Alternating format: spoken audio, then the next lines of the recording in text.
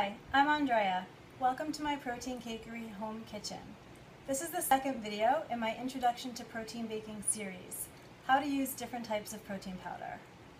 Every time I clean out my kitchen, I count how many different kinds of protein powders I have.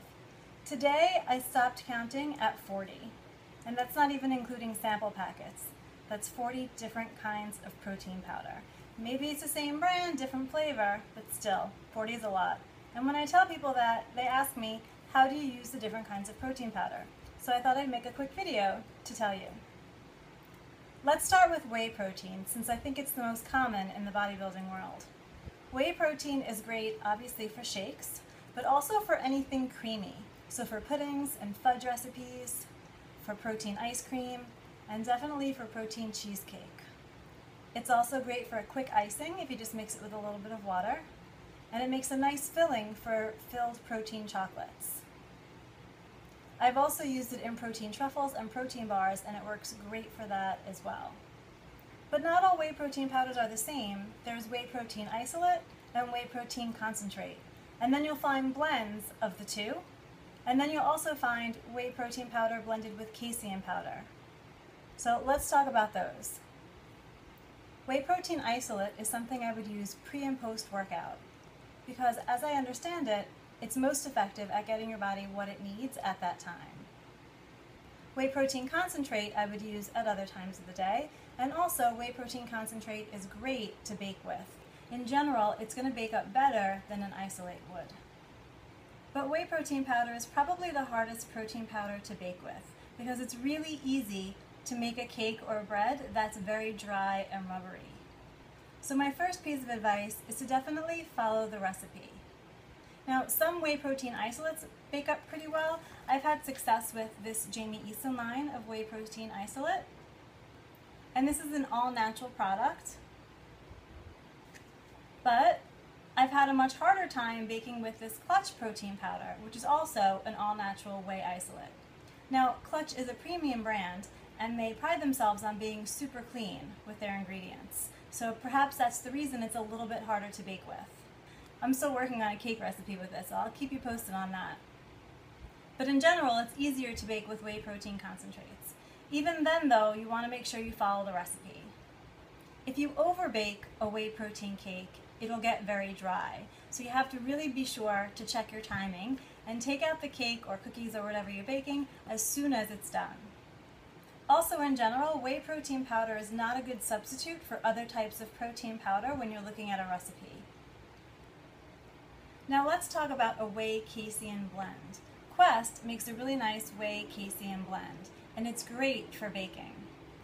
The casein acts kind of as a dry ingredient, so you could use less coconut flour or oat flour, for example, in your recipe when you have some added casein.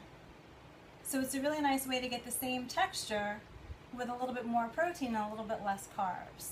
So I really enjoy baking with the Quest protein powders. Keep in mind though that this multi-purpose unflavored is the only one that is not sweetened with sucralose. So the others have sucralose, so if you're keeping it all natural, then just keep that in mind. You could always just use this one and flavor it yourself. And whey casein blend is also great for anything that you want to be thick and creamy, like a thick shake, protein ice cream, protein pudding, that kind of thing. Now casein is a slow release protein, and so it's great to have a snack with casein at night. So I've baked a bit with this whey casein blend, but I haven't baked only with casein protein. And that's just a personal choice because my body doesn't react so well to casein. If I have too much of it, I'll have stomach aches, so I don't have too much of it. But casein alone does make a very nice frosting or like a, a protein sludge you might have heard of. Now if you're wondering about milk or egg protein powders, I don't have any experience using those. I probably will at some point in the future and I'll keep you posted on that. And for something like beef protein powder, I'm never going to be using that. The thought of it makes me want to throw up, quite honestly. I'm vegetarian and there will be no beef protein powder in the Protein Cakery kitchen, I can promise you that. But let's talk about vegan protein powders, because they can be really great in baking. For many years, I think the most common vegan protein powder was soy protein powder. But now I think pea protein is getting more popular. And soy is a little bit controversial. Now, I'm not a soy hater, I'm not anti-soy. I love a good fried tofu at my favorite Thai restaurant. But I don't use soy protein powder because I don't think my readers want recipes with soy protein powder. So I don't have any experience with that one to share either. But I do have a lot to say about pea and rice protein powders. Pea protein powder bakes up great with egg whites. You can take pea protein powder and egg whites and that'll be a nice basic protein pancake. Maybe put some cinnamon in there too. If you add baking powder, makes a great cake. Or if you do egg whites with pea protein powder and some psyllium husk, a really nice protein wrap. So pea protein is super useful in baking and cooking. But as a shake, not my favorite because of the flavor. For me, I would have to cover up the flavor of a pea protein shake with fruit or anything, nut butters, anything to cover up the flavor. Not my favorite. However, a lot of people enjoy them, especially if you're looking particularly for a vegan shake. A lot of people are enjoying pea protein and pea protein blend. A couple of popular pea protein blends are Vega. This is Vega Sport. Personally, I don't love the flavor of this. I think maybe it just has a little bit too much stevia for my taste, but it's a very popular one. So if you're looking for a, a vegan protein shake, you might want to try this one. And Warrior Blend. And this one I talk about a lot. I think it bakes up really, really well, and I like the flavor of it. I just got this new pea protein blend from the Vitamin Shoppe, and I haven't worked much with it yet. I did use it in some cookies, and it worked really, really well. But I'll keep you posted on more recipes with this. And you can also make vegan protein truffles and vegan protein bars using pea protein. It has a very nice texture for that as well. Similar to pea protein in terms of baking and cooking is peanut protein. So this is very similar to powdered peanut butter like PB2.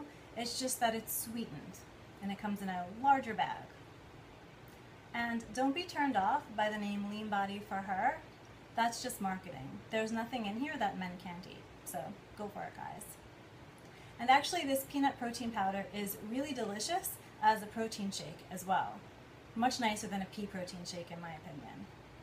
There are about the same amount of carbs and protein in this shake, so for me, I think it's a nice breakfast shake because I look for a balance of protein and carbs in the morning. So I recommend it. Give it a try. And rice protein powder. Rice protein powder can be a little bit chalky as a shake, but personally, I like the flavor better than pea protein. That's a personal choice.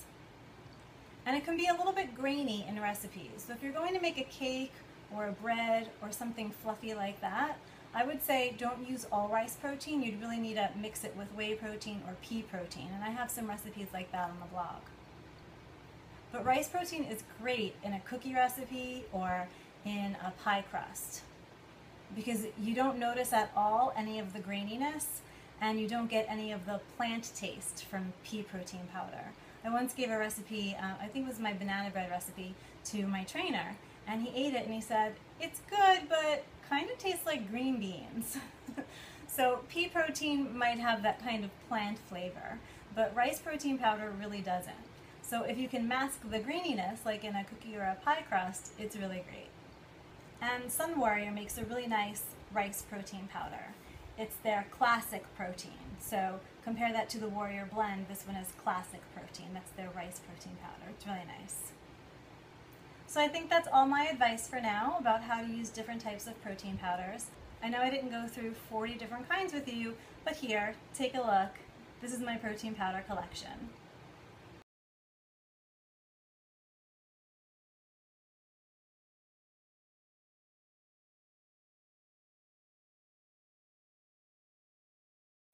Thanks for watching. Please subscribe and share. Bye.